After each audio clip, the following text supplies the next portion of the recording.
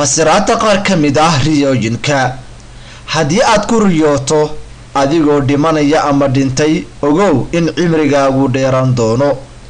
Haddii aad ku riyooto adigoo cunaya malab cad waxay caddeen u tahay inaad ka caafimaadi doonto xanuune aad qabtay.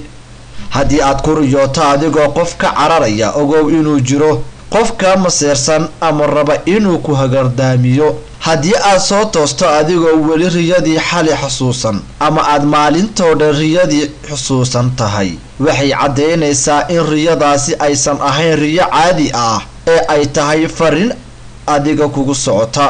Adigoo faras saaran haddii aad ku riyootid waxay caddeynaysaa inaad hanti badan heli doontid ama aad safar geli doontid. Haddii aad ku riyooto adigoo duulaya waxay caddeynaysaa inaad dhibaatooyin ku haysta ay kaa fududaan doonaan ama waxay noqon kartaa inaad hoggaan iyo mas'uuliyad qaadi doonto. Haddii aad ku riyooto mas ogow inuu jiro qof raba inuu dhibaato ku gaarsiiyo. Haddii aad ku riyooto qof aad taqaano oo dhintay waxay caddeynaysaa inaad qofkaas iskhilaafi doontaan ama aad kala fogaan doontaan. Haddii aad ku riyooto abeeso dibqallooc ey doofaar daanyeer musqul nijaaso badan waxay sheegaan in qofka la sixray haddii aad hal riyo dhowr habeen aragto oo ay kugu soo laalaabato ogow in arrinka aad ku riyootay uu yahay arrin muhiim ah oo la rabo inaad fariinta fahamto. Haddii aad riyooto waxa aad ku riyootay haddii yihiin wax xun